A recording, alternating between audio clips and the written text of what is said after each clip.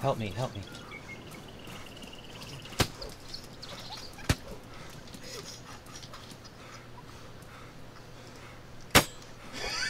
I said, I said, help me, help me. Did you hear me say that?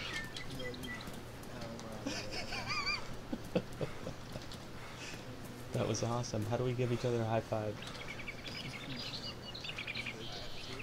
He had brass knuckles on him. He had all this stuff. Brass knuckles. That's it. Yeah, we we hit uh, that. In fact, I need I need to record that.